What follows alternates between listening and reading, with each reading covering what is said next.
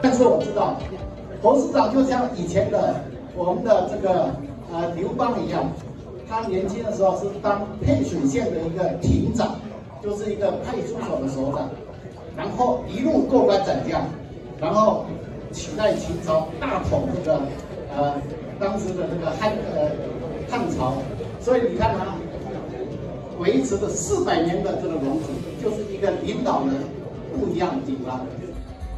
市长也在这边也跟大家来问候的同时，更重要希望大家的支持。我们再次热烈掌声，谢谢侯市长。要祝我们的侯友谊市长能够过关斩将，直登天庭。大家说好不好？好。谢谢大家，感谢大家。再次掌声，谢谢我们四年级的一位会长杨文德杨会长。